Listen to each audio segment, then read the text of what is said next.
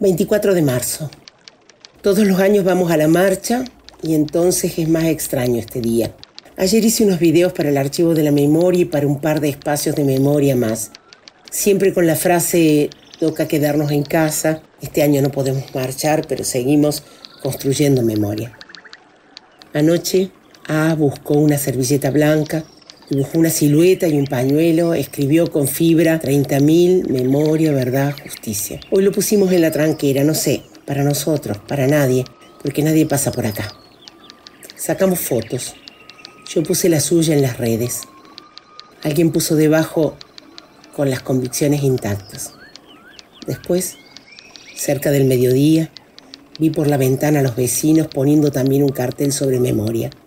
Son vecinos queridos.